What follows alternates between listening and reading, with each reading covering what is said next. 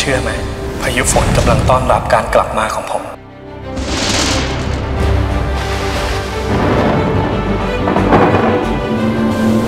อย่าบอกนะว่าที่คุณชนมาเกาะไม้ร่มก็เพราะว่า เพราะว่าชนจะมาทำความฝันของแม่สายทานให้เป็นจริงค่ะ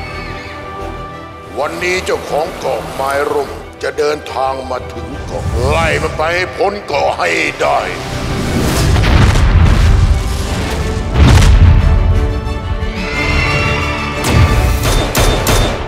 แกจะต้องแต่งงานกับคุณหนูระเริงชน นี่มันสัญญาบ้าอะไรกันเนี่ย เราสองคนต้องทำยังไงถึงจะไม่ต้องแต่งงานกันคะ